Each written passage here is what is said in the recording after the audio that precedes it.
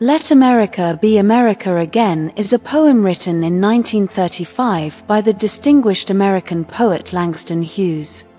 It made its debut in the July 1936 issue of Esquire magazine, subsequently appearing in the 1937 edition of Kansas Magazine. The poem was later revised and incorporated into a modest anthology of Hughes's works titled A New Song, published by the International Workers' Order in 1938. In this poignant piece, Hughes articulates the disillusionment of the lower-class American with the American dream, a vision of freedom and equality that remained unattainable for many particularly immigrants who harbored aspirations of a better life. Through his verse, Hughes gives voice not only to African Americans but also to other economically disadvantaged and minority groups, highlighting the broader struggle for genuine equality and opportunity in the United States. The speaker opens the poem with an ostensibly patriotic proclamation, urging America to once again embody the principles it purportedly champions. The speaker expresses nostalgia for a bygone America that upheld freedom and opportunity but immediately challenges this sentiment, suggesting that such an image was never the speaker's reality.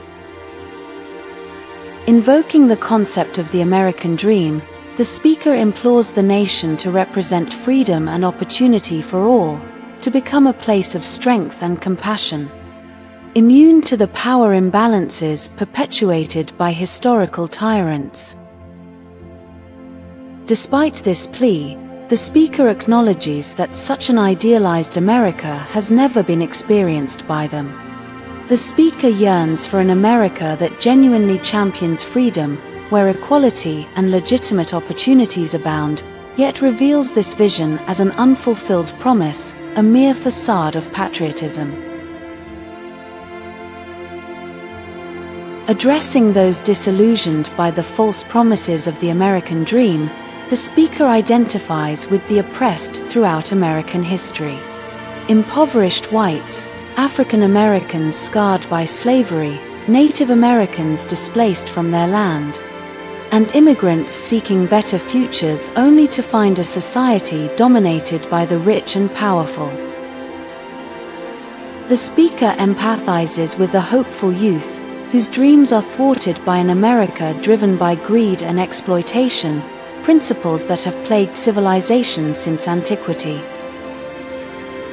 Identifying with those whose lives lack freedom, the farmer tied to the soil, the worker to the machine, the African American to servitude, the speaker denounces the American dream's failure to alleviate the masses suffering, who are driven to cruelty by their hunger.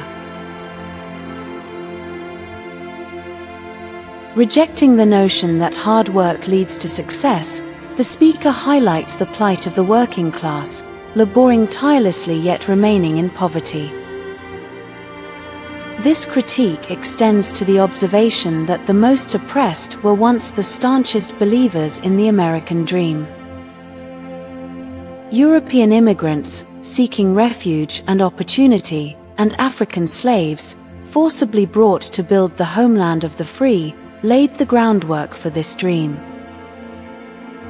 The speaker questions who truly belongs to this homeland of the free, asserting that neither they nor the millions of underpaid workers, striking against exploitation, are free. Referencing the labor movement of the 1930s, the speaker laments that working class Americans have little to show for their patriotism and hard work. Concluding with a call to action, the speaker urges America to fulfill its true self confident that the American dream's realization is both possible and necessary. The speaker calls upon the oppressed, whose sacrifices built the country, to rise and reinvent America according to its founding ideals of equality and freedom. Unfazed by potential insults, the speaker asserts that true freedom and equality must be reclaimed from those profiting without labor. Reiterating that America has never met its promises, the speaker vows to create the nation that should exist. Believing the American dream can be actualized through the efforts of those who have always formed its backbone. Only by rising against their mistreatment and reclaiming the nation can America truly embody its foundational ideals.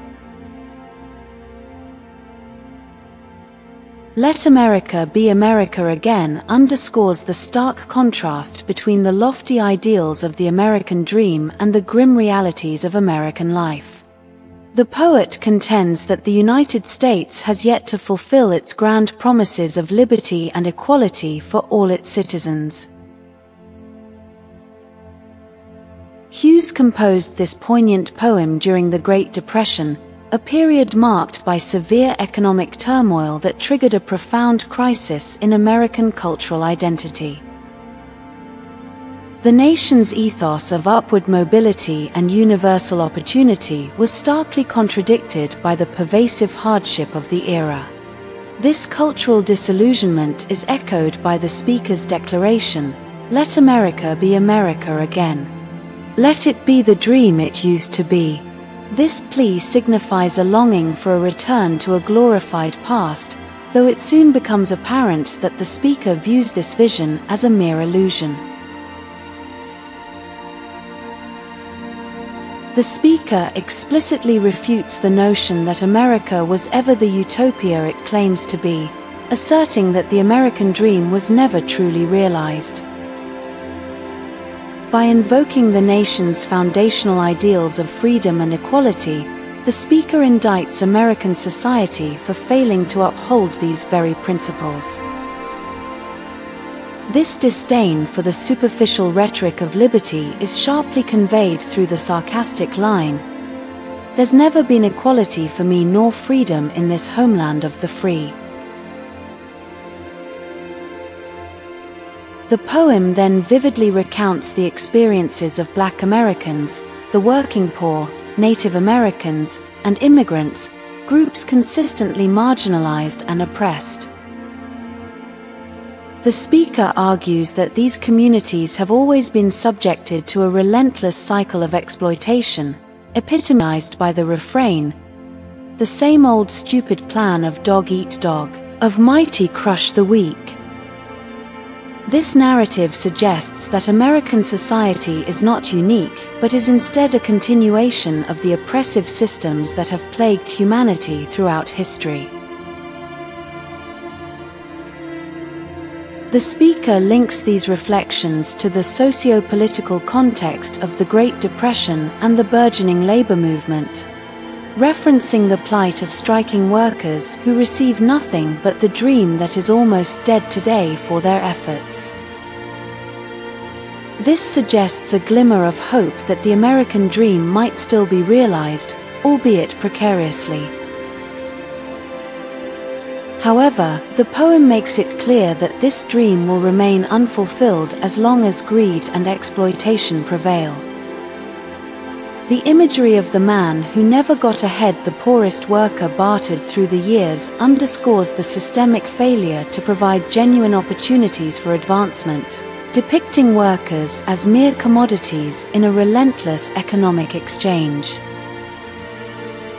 This critique culminates in a call to action, urging the oppressed to reclaim their rights from those who live like leeches on the people's lives and to restore America to its foundational ideals of equality and freedom. The poem's conclusion is a powerful exhortation for collective action, proclaiming, from those who live like leeches on the people's lives we must take back our land again. America. The speaker envisions a reinvention of the nation, grounded in its original promise, and concludes with an optimistic vow that America will be emphasizing that it is not too late for the country to achieve its founding ideals. This hopeful ending reaffirms the enduring power and significance of the American dream within the cultural consciousness, despite the critical examination of its shortcomings. The overriding symbol in the poem is arguably America itself. America is meant to embody all that the American dream encapsulates, with the speaker repeatedly alluding to the conventional perception of America as a bastion of opportunity, freedom, and equality. Nonetheless, the speaker asserts that while America has long stood for these lofty ideals, it has yet to actualize them. Consequently, by the poem's conclusion, America becomes a symbol of failure, epitomizing the consequences when a nation fails to uphold its founding principles. Yet, America simultaneously retains its representation of hope and the promise of a better future. Despite the speaker's trenchant critique of America's past and present, the poem concludes on an optimistic note, intimating that America still harbors the potential to fulfill its original ideals. The figure of the pioneer is invoked multiple times throughout the poem, likely due to its significant role in American culture and history.